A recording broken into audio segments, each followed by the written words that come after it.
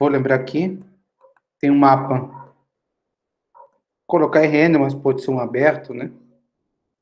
Função de várias variáveis. Então, um ponto é uma singularidade. Se todas essas derivadas são nulas, né? Mapa diferenciável, né? Sem infinito. Diferenciável, tanto faz. Pelo menos C2. Tem que ser pelo menos C2, tá? Se é, a diferencial do mapa em P. Isso aqui é um mapa linear, né? De Rn a R. E o mapa linear nulo ou equivalentemente. Isso aqui vale, né?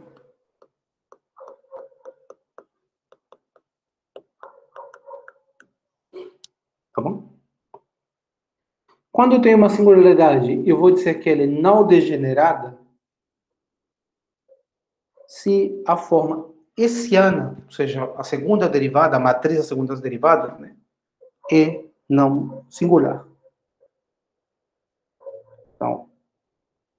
Isso aqui é uma definição. Isso aqui é outra. Uma singularidade P é não degenerada.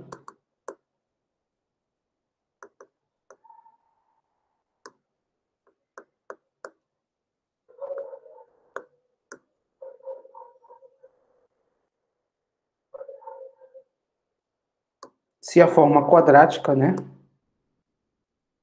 Se a forma quadrática é a seguinte, se a forma quadrática aqui dada pela segunda derivada,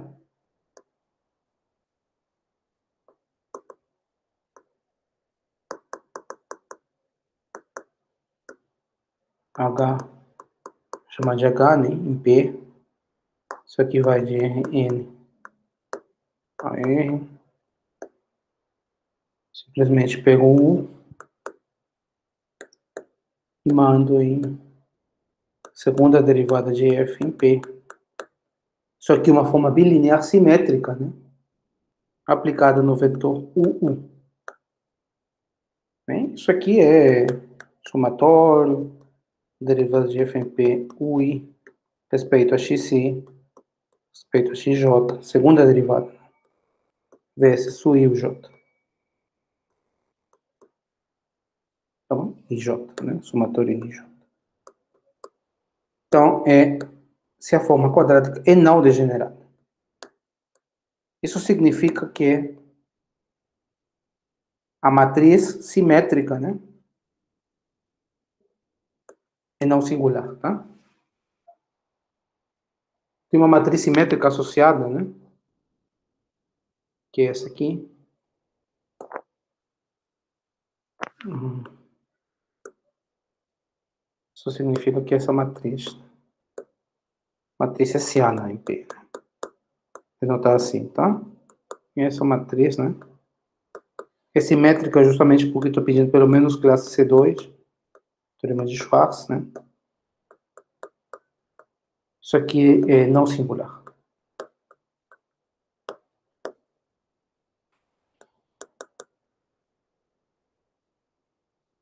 Significa isso se você lembrar bem do teorema espectral, quando você tem uma matriz simétrica, você pode diagonalizar, né, pelo teorema espectral.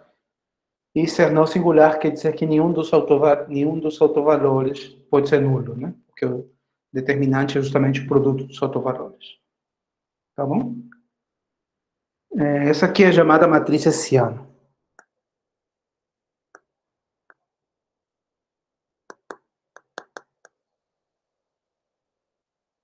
Vocês devem conhecer esses conceitos, né? Imagino.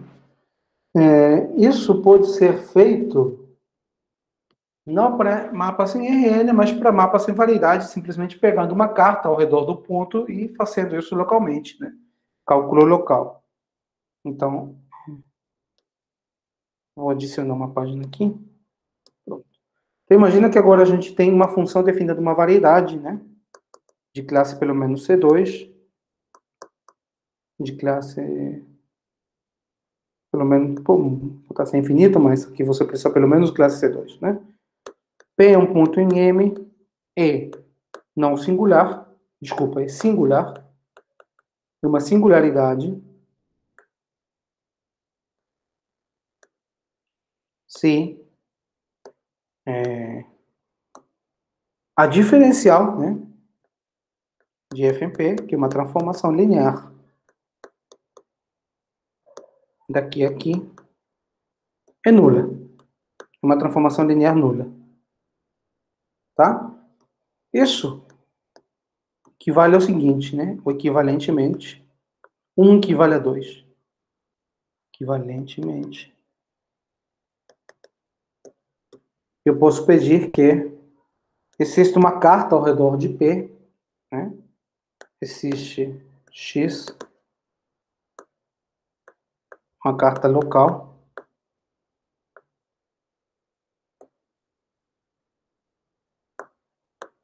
Carta local ao redor de P. P, P1. Então, o que nessa carta? É, F é composto com X menos 1. É singular em X de P. Tá bom? Eu tenho aqui minha variedade. Tenho a minha função. Tem um ponto P. E ele vai singular, ser singular quando eu tenho uma carta X. Aqui. X de P. Tal que isso aqui seja singular. E, analogamente, eu posso definir ser não degenerado. Né? Então, eu posso definir ser não degenerada usando as cartas locais, né? Assim como eu fiz para singular. Então, uma singularidade P não degenerada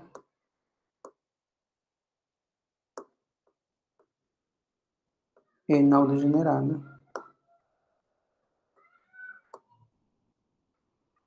Da mesma forma, né? Eu posso definir em cartas, existe uma carta onde tal que o mapa nessa carta, né, ou seja, f é composto com x a menos 1, tem singularidade não degenerada, ou eu posso definir é, olhando para a forma bilinear diretamente, né, se a forma bilinear simétrica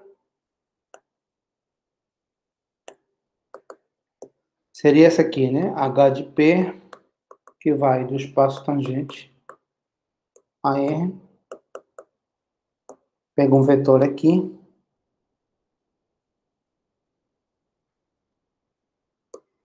e leva HP aplicado a 1. Deixa só ver como foi aqui. Segunda derivada, né? Então, vou fazer, vou escrever direto usando as derivadas parciais, né? Deixa ver. É, eu tenho aqui o ponto P, que F, que vai a R, tem aqui uma carta. X que vai aqui. Esse aqui é X de P. Então, eu vou pegar um vetor tangente aqui. U, né? E isso aqui vai ser o somatório IJ da derivada parcial, segunda derivada, né? X em xj de f composta com x a menos 1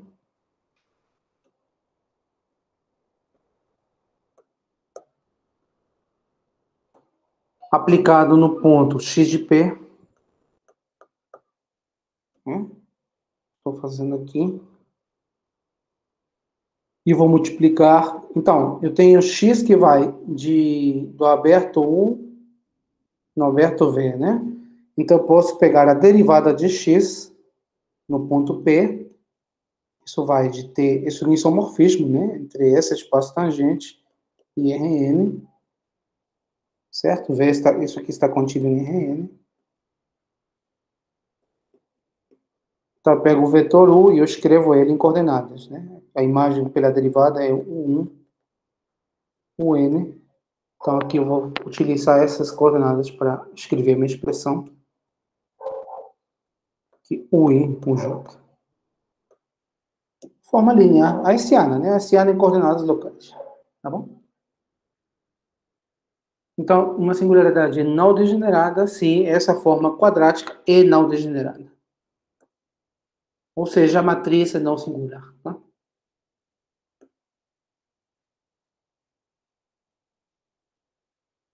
Então,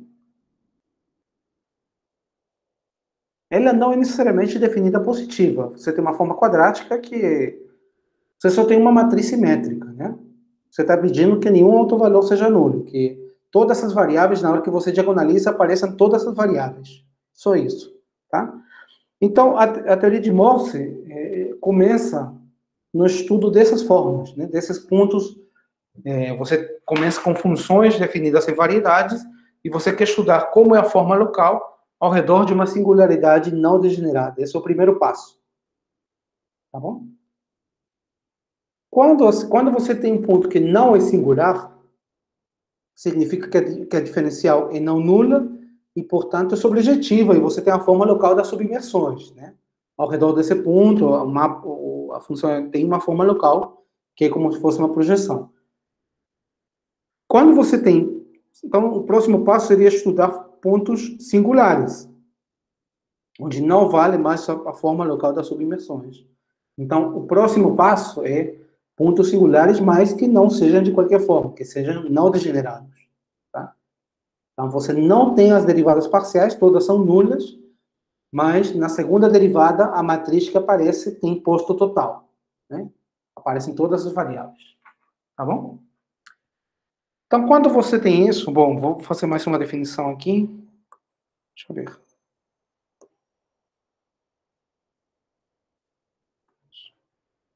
fazer a definição do definida negativa, né? Mas eu acho que vocês lembram, mas bom uma forma quadrática, quando você tem um espaço vetorial, você pode definir uma forma quadrática, né? Simplesmente pegar uma forma bilinear e avaliar nos vetores 1, 1, né? Então, dissemos que a forma quadrática. Isso aqui em geral, né? Mais um, que é a forma quadrática. Eu vou fazer assim. Não preciso fazer em geral, simplesmente vou olhar para a forma quadrática que eu já tenho, H de P. E negativa ou positiva definida, né?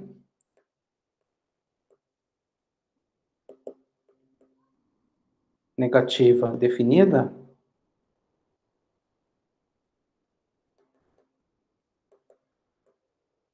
Se é, HP em qualquer vetor.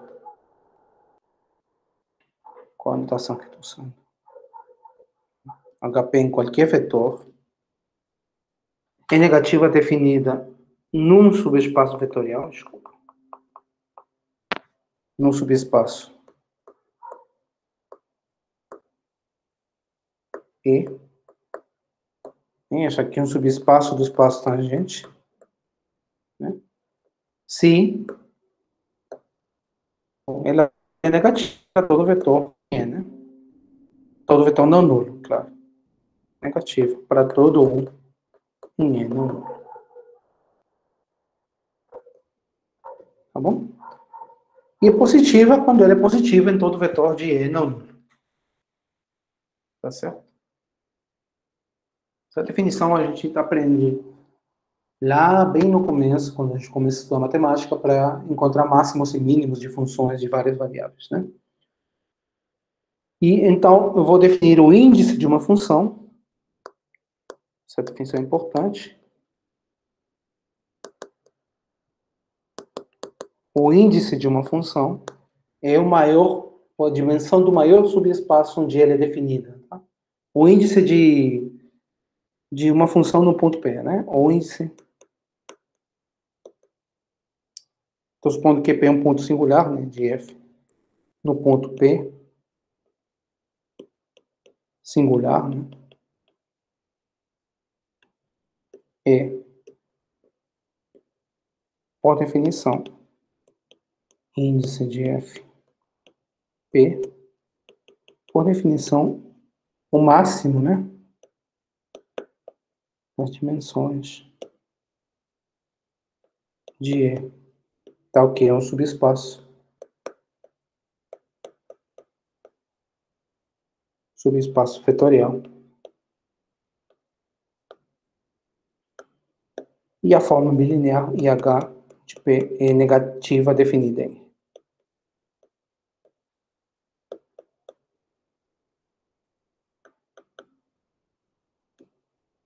Tá bom? O maior subespaço onde a forma é negativa definida.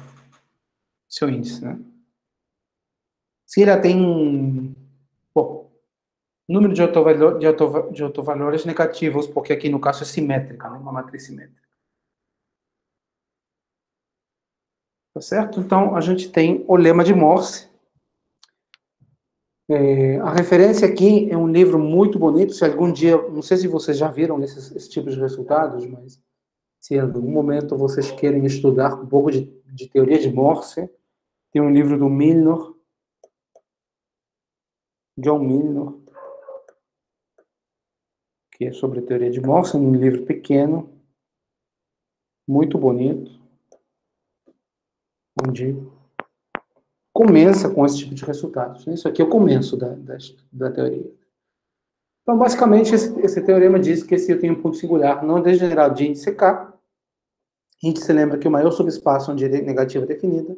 Então, em algum sistema de coordenadas, a minha função se escreve nessa forma, né? Ela se escreve assim. Ela não tem parte linear. E ela termina na parte quadrática com K termos negativos e o resto de termos positivos. Tá? O que significa isso? É, eu tenho aqui a minha variedade. Tem aqui F, R, P, F de P. Então, tem uma vizinhança X aqui. Né? Aqui X de P, tal que, para cada ponto aqui, que né? para cada ponto daqui da vizinhança, eu tenho o x de q, que tem n componentes, né? Porque você tem Rn, x1, xn, e a função, né? Em que é simplesmente essa soma.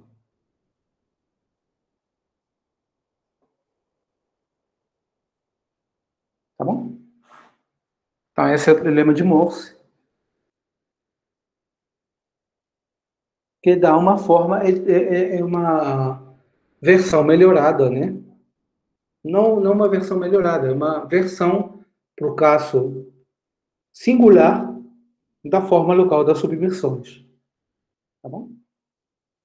Então, é, em particular, o que acontece quando N2, por exemplo, né? Você tem uma superfície.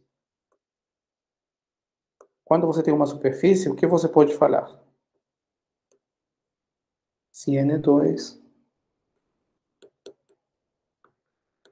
Então, o índice é o maior subespaço, né? Ele pode ser 0, 1 ou 2. Tá bom? Lembra que quando N2, a, matriz é 2 por 2 agora, né?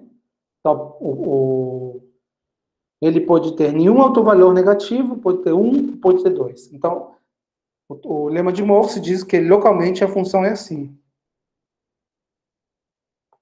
X são, esse aqui seria o ponto Q, né? X são as coordenadas do ponto Q.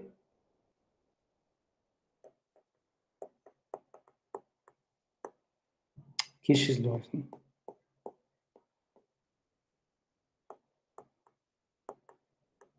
Bom, tem três possibilidades. Ou ele assim, ele se escreve assim, f de p mais x1 ao quadrado mais x2 ao quadrado, aí o índice é zero, né? Não tem nenhum outro valor negativo. Se você ver a matriz hessiana, nesse caso dá 2, 2. Ou pode ser, deixa eu apagar aqui. Pode ter um outro valor negativo, pode ter dois, né? Vou colocar aqui quando tem dois.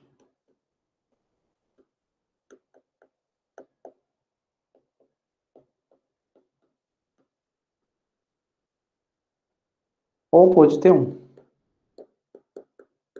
F de P. E ao redor do ponto P.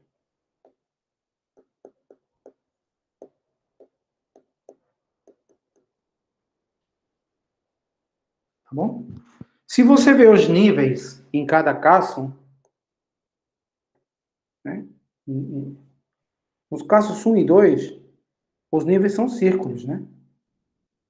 se, se esse número for, sei lá, fixe um número qualquer, imagina que é 1. Né? Quando você faz o nível f de x igual a 1, ou f de x igual a, a um número maior que 1, isso te dá círculos, né? no caso 1 e no caso 2. Só muda o, o nível que você tem que tomar, mas isso dá círculos. E o ponto singular, né? quando você toma o nível 1, ou seja, o ponto que passa por P, o nível que passa por P, seria esse pontinho aqui zero, né? Se você faz isso aqui, por exemplo, nível f igual a 2,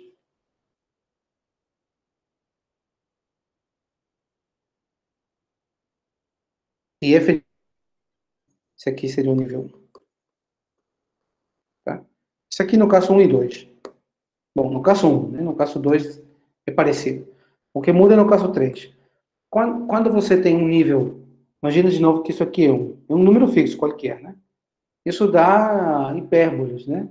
E quando você está no nível 1, ou seja, o nível que passa pelo ponto P, você tem as retas x1 igual a x2, x1 igual a menos x2, né?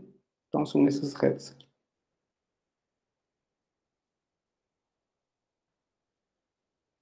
Então, é uma cela, né? os níveis são o conjunto de níveis dá uma cena.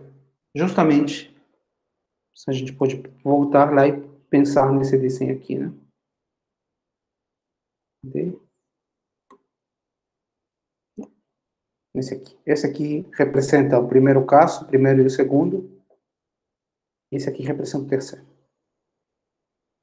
Tá? Então, esses casos que eu quero chegar estão contemplados pelo lema de Morse. Tá bom?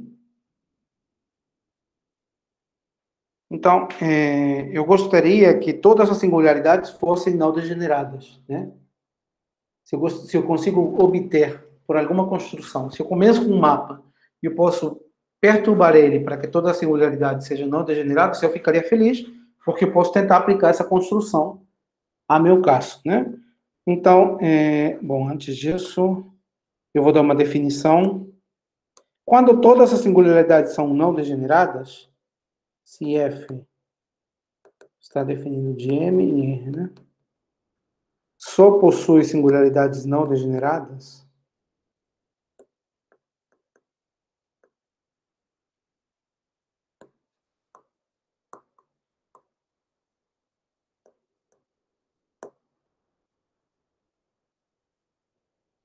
eu digo que f é uma função de Morse.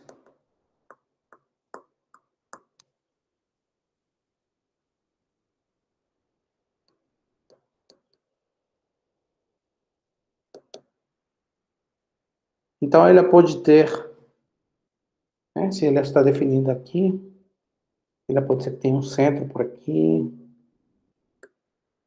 pode ser que tenha uma cena por aqui,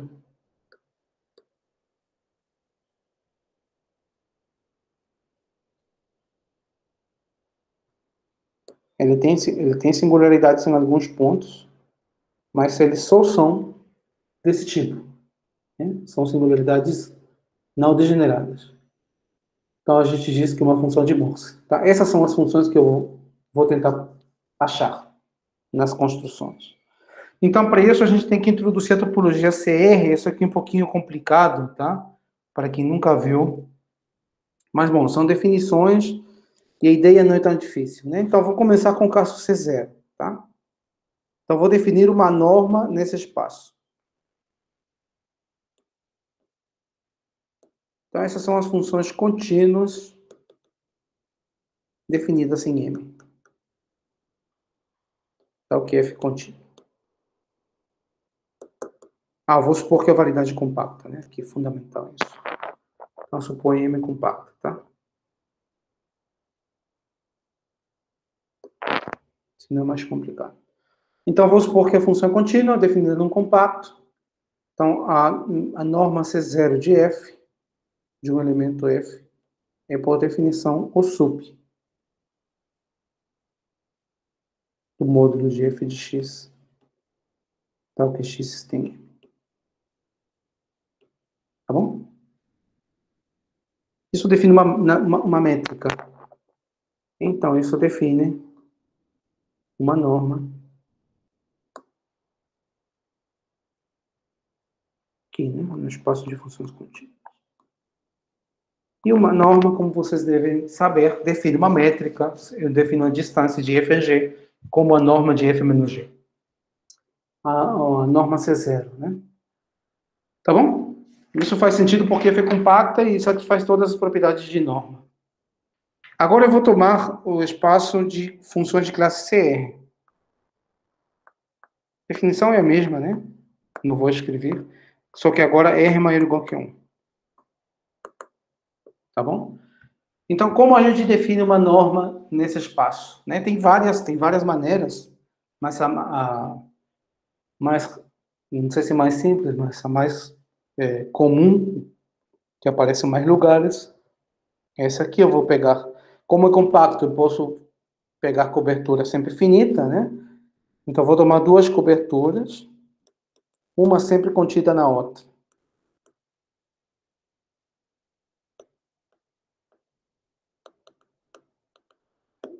Espero que deixar claro por quê. Coberturas da variedade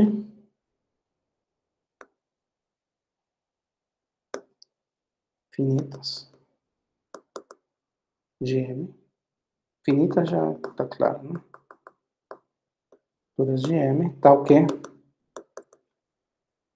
é, satisfazem duas condições. A primeira é que o I, o J fecha sempre esteja em VJ. E VJ é domínio de carta local.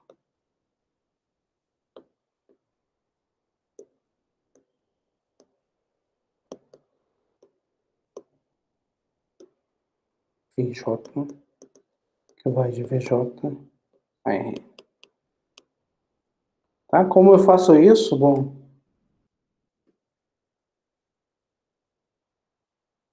isso não é muito difícil. Você pega para todo, todo ponto de, da variedade, você tem uma carta local, aí esse aí é o, o VJ, né? Isso aqui é uma carta local, um aberto de RN. Aí você diminui um pouquinho o aberto e traz, contendo ainda o ponto. Né? Isso aí seria o J. Tal que o fecho esteja contido no VJ. Tá? Você faz isso para todo ponto e você depois pega um número finito, né? Você sabe como a variedade compacta pode fazer isso. Quantidade finita de passos. Tá bom? Então temos essa cobertura, a gente fixa a cobertura.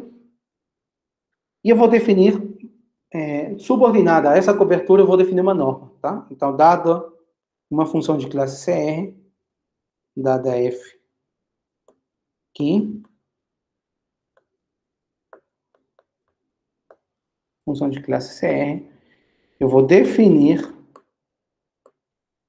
é, primeiro, eu vou definir em cada aberto, tá? Cada aberto, módulo de F, R, no aberto I, eu só vou me fixar nesse aberto. Esse aqui é assim, né? VI, UI.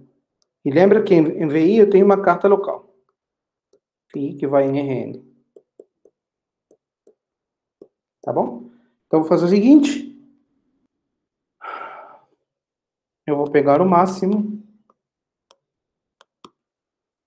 de do sup. Faço o contrário. Eu tenho esse, esse mapa aqui. F composta com φ menos 1. Né? F vai, F está aqui. Então, eu posso fazer o caminho. Posso fazer essa composta. Tá? Eu vou calcular as, as, é, as derivadas, né? as diferenciais. Disso. Em que ponto? No ponto. Como eu estou fazendo esse recorrido, estou fazendo esse percurso, né? Tá aqui. É. Então, isso tem que ser feito nesses pontos aqui, né? Então, no ponto φ de P. A jésima derivada é uma forma J linear simétrica, né? A primeira derivada é uma transformação linear, a segunda é uma forma bilinear, a JS é derivada, é uma forma, R, é uma forma J linear simétrica. Então, posso tomar um módulo. Módulo de uma transformação multilinear. Vocês lembram como é o módulo de uma transformação multilinear? Um módulo de uma transformação multilinear, simplesmente você pega um módulo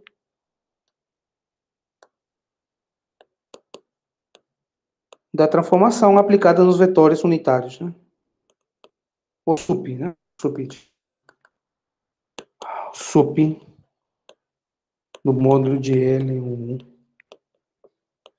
o J. Tá ok? O módulo de J é sempre 1. Módulo de U1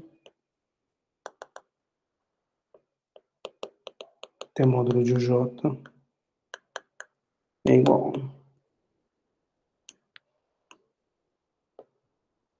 Tá bom? Quando você tem uma transformação linear, você calcula o sup da transformação na, na, na esfera unitária. Quando você tem bilinear, você faz parecido. Isso define uma norma nas transformações multilineares.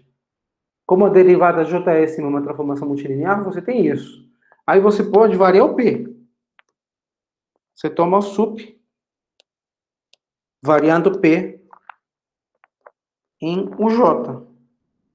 Em o que está fixo? UI, desculpa. UI, fecho, né? Como é compacto, faz sentido tomar o sup. Tá bom? Faz sentido tomar o sup. Porque o UI é compacto. Eu não disse que compacto, né? Mas. Aqui vamos dizer o I compacto, tá? Ah, a variedade já é compacta, né? Então, a variedade já é compacta, então fecho de um. Todo fecho compacto. É, então, isso aqui faz sentido. Você tomou o sup. E agora você toma o máximo variando J, né? Máximo disso. Variando J. J vai de 1, de 0 até R. Ou seja, você faz isso para a função, depois faz isso para a derivada, para a segunda derivada, para a terceira derivada, até a résima derivada. Tudo isso só dentro do aberto VI. Ou, de fato, no aberto UI, UI barra. Tá bom? Então, essa, essa, essa norma, ele mede tanto a função quanto suas derivadas de ordem R, até ordem R. Tá bom? Quando você vai ter duas funções próximas nessa norma, isso quer dizer, assim, a ideia é que as funções e a todas as derivadas, a primeira, a segunda, todas sejam próximas. Tá? Isso que vai medir essa norma. É, isso eu fiz no, no aberto VI, e agora eu vou pegar a, a norma mesmo, a norma R, como o máximo, I. I de 1 até K. Eu acho que tem K elementos no aberto, né? Tem K elementos na cobertura. Como é finita, não tem problema. Né? Você toma o máximo. Isso define uma norma no espaço de funções CR. Isso define a topologia CR. Tá bom? A ideia que está por trás é que duas funções estão próximas, você vai medir a distância de f a g, medindo a distância delas e suas derivadas, né? A topologia C0, você só mede a distância entre as funções. Tá bom? A topologia CR já entra tudo. Tá? E o teorema sensacional da teoria de Morse diz que se você tem uma variedade compacta, talvez com bordo, aqui pode entrar uma variedade com bordo, né? Pode ser, por exemplo, particular um disco fechado, que, que a gente precisa, né? Disco fechado tem bordo. E você considera as funções de classe CR pelo menos 2, de classe pelo menos 2. Então, o conjunto das funções de Morse são um aberto e denso. Olha que sensacional. Toda função de classe CR pode ser aproximada por uma função de Morse. Tanto quanto você quiser. Não só ela, todas as suas derivadas. Tá? Para toda função de classe CR, você, todo epsilon positivo, você encontra uma função de Morse, ou seja, só com singularidades regulares, só com singularidades não degeneradas, suficientemente próxima da tua função. Tá bom? Teorema, claro que escapa do, dos objetivos da nossa matéria. Né? Não, vou, vou mostrar, fica como cultura geral, para quem quiser, eu referencio o livro do, do Milner, de teoria de Morse. Tá? É, realmente vale a pena ler alguma vez na vida esse tipo de argumentos. Mas eu vou mostrar o corolário disso, que é muito legal também. Vou, é bem rápido, mas dá uma ideia de como, como essas ideias podem ser úteis, né? Pequenas modificações para a gente. Então, olha só, o que, que a gente tem?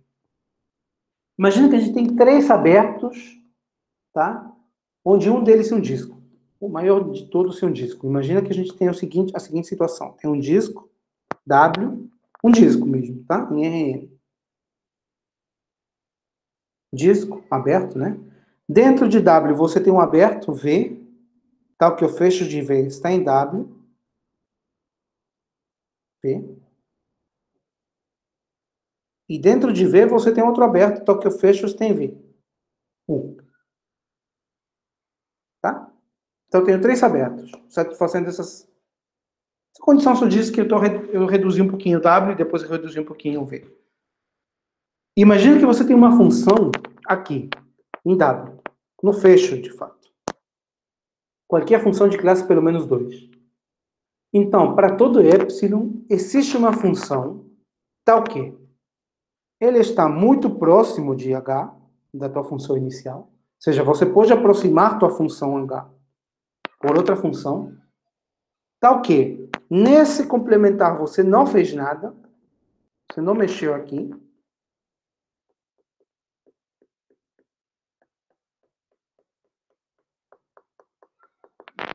Então, isso aqui diz que está próximo. Isso aqui diz que você não mexeu folha de V. E aqui, em 1, um, aqui é de Morse. Tá bom? Então, você pode mais fazer mais do que só aproximar a função. Você pode aproximar a função do jeito que você quer, num certo sentido. Ou seja, você pode fazer o seguinte, né? Você tem aqui sua função no disco, né? E você fala assim: olha, eu quero que ela seja de Morse aqui, tá bom? Eu quero, eu quero que aqui ela seja de Morse, então vou pegar uma vizinhança desse ponto. Eu quero que aqui ela seja de Morse e aqui fora ela não seja modificada. Então você pode escolher aonde não modificar, aonde não mexer com a tua função e aonde mexer com ela. Tá bom? E lá no intermédio, a gente não sabe o que, que acontece. Tá? Mas você pode fazer isso. Ela só, você só sabe que ele é de Morse aqui, né? Você só sabe que ele é de Morse aqui. Você não sabe o que acontece aqui, porque aqui de fato você não modificou, né? Poderia você ter singularidades degeneradas aqui, por exemplo. Mas você pode dizer, ah, eu vou escolher esse lugar aqui Né? Imagina que você fez esse trabalho aqui. Agora você quer fazer que essa seja de Morse, continuando mantendo essa parte aqui de Morse. Então você faz a mesma coisa. Pega um aberto, pega um outro aberto, tal que fora você não modifica isso, e, e ele aqui vira Morse. Então você pode fazer isso. Tá? E a ideia é muito simples, eu vou fazer, estar tá fazendo dois minutos. A ideia da prova é muito simples, né? Primeiro, você aproxima por uma função de Morse. Então, você sabe que dado epsilon qualquer, você pode aproximar por uma função de Morse. Existe f0 de Morse, tal que f0 menos h menor que delta, dado delta. O epsilon do, do, do teorema está fixado. Vou introduzir um novo delta aqui, depois eu vou modificar ele, tá? Então, primeiro, bom, você aproxima de qualquer maneira. Eu tenho uma função próxima aqui de Morse. E agora você utiliza essa partição da unidade, ou função, é, bump function, né?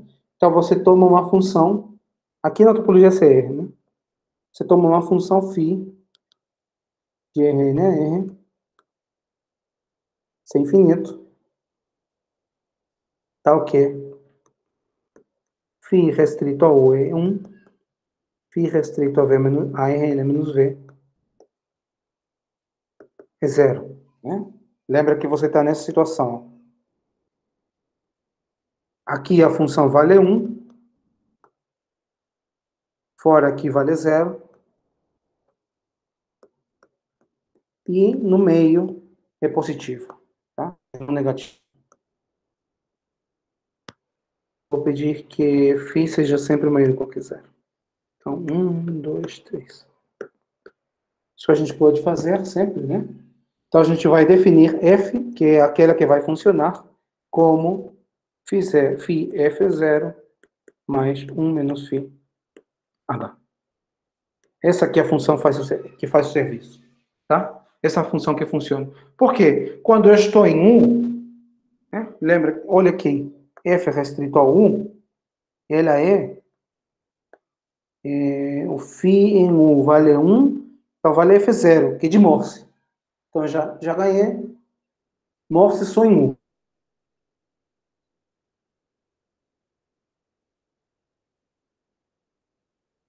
Zero. Então vale H.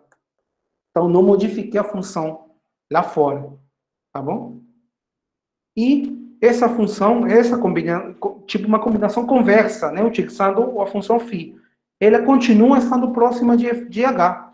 Né? Se você faz f menos h, faz f menos h.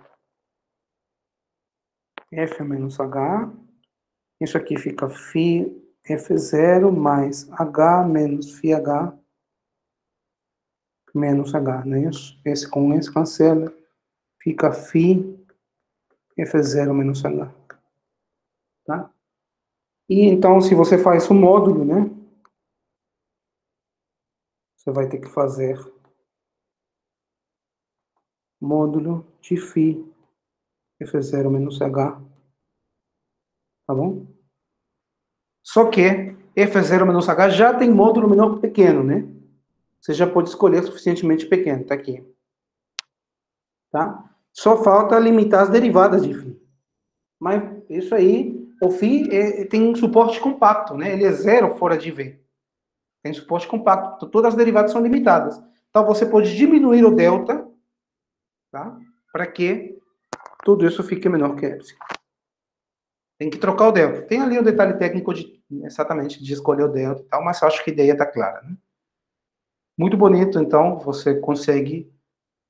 É, modificar um pouquinho a tua função, sem mexer fora de um conjunto, tal que ela vira morse onde você quer. Tá? Então, essa é a primeira parte da nossa construção. Na próxima aula, vamos continuar estudando a construção de Haflinger. Eu vou parar aqui a gravação.